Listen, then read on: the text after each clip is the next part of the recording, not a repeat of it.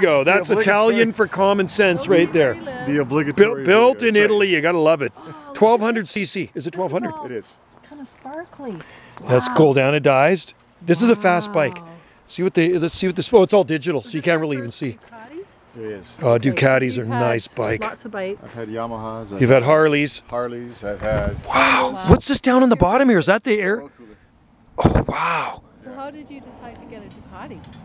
It's a mature man's motorcycle. It is a nice But no not a it Harley. no but it is Also a mature no it is hey look at the bee on it here look at the big bumblebee look at that cool that look at the disc brakes on this thing Crazy, huh? oh it's Yeah, bad Brembos.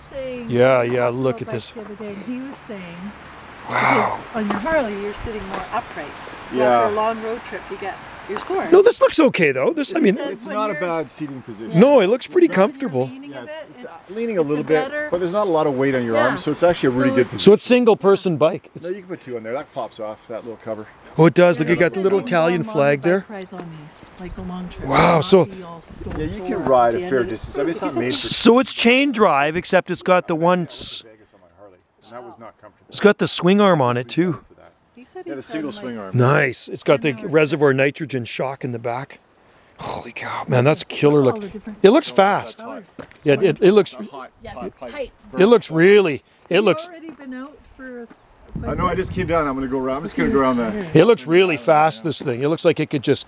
Well, it's got 147 horsepower. Oh, no, no, it's crazy fast. stupid. My Harley's 55 horsepower. That's Mine, like. was, mine was 70. Yeah, yeah. Harleys don't have. 75. Harleys really aren't built for going really No, they're fast, unless you get the V V rod. Yeah. But this this will blow it away. They're not even making V rods anymore. They don't, eh? This Last- this thing. Last year or two years ago. Oh, it looks so that. fast, man. Where you got it on the Big Island?